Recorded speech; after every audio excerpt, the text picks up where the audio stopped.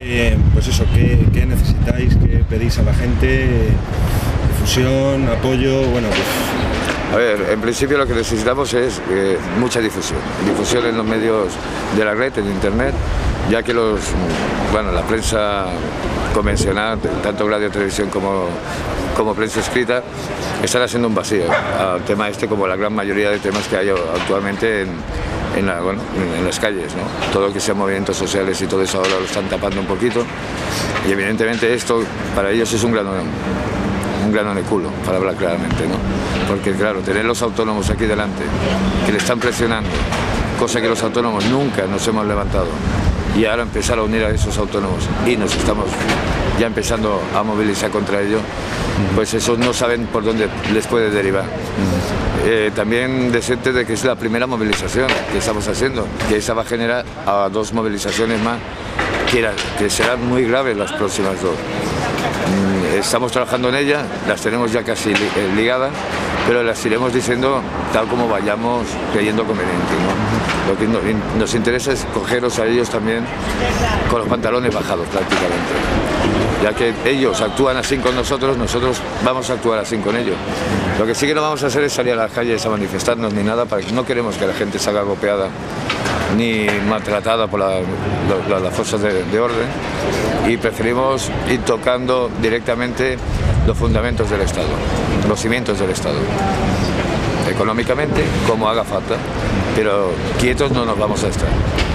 Luego hacemos un llamamiento también a la gente que se vea, los ciudadanos que estén en precario estado económico, que estén a punto de desahuciarlos, que los hayan desahuciado y tal, en vez de quedarse en casa deprimido, que se unan a esta huelga de hambre, que es una huelga de hambre abierta, en la cual comida no le vamos a dar a nadie, pero bebida y todo lo que haga falta lo tendrán aquí, ¿no? y invitarlos a eso, a hacer una huelga de hambre indefinida, que no tenga fin, hasta que el fin ser- será cuando ellos accedan a atenderlo y firmen, firmen todas las peticiones, una por una de, las que se, está haciendo.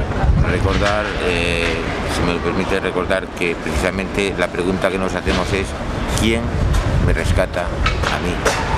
Eso es importante, que quede en la mente, en ese subconsciente de la sociedad. ¿Quién me rescata a mí? Es lo que le estamos exigiendo a esta gente, que pagamos todos los españoles. Pues tenemos apoyo ya de diferentes plataformas y de asociaciones y de algún- partido minoritario, bueno, minoritario pequeñito evidentemente, de, de partido político también. Estamos hablando de Yo, eh, eh, Yo no pago, que está con nosotros también, colectivo Burbuja, luego está también APIC, está el colectivo de mujeres de transportistas, está la Plataforma Nacional de Transportes, está también eh, el Partido Guía, PDMA, Partido de- Democrático de Mayores Autónomos. Bueno, es un sinfín. Te digo unos ahora más o menos de memoria.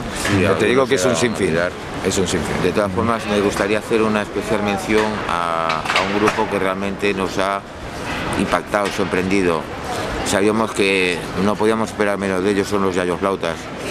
Realmente ha sido precioso ver cómo desde el minuto uno han estado volcados, han tardado minutos en, en apoyarnos y darnos eh, algo que necesitábamos. El otro día tuve una anécdota curiosa, se necesitaba una palangana para puntualmente poder lavarnos los pies ahora con el polvo, el calor que hace, y tardaron dos minutos y apareció la palangana. O sea, realmente un agradecimiento especial a nuestros abuelos, que no solo nos están ayudando a nosotros ahora, sino que somos conscientes, sobre todo del colectivo de desempleados, que están salvando a muchas familias con sus propias pensiones.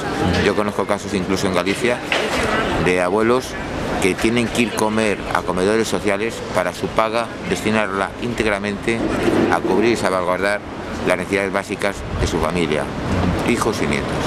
Muchas gracias. Muchas gracias. A vosotros. A vosotros.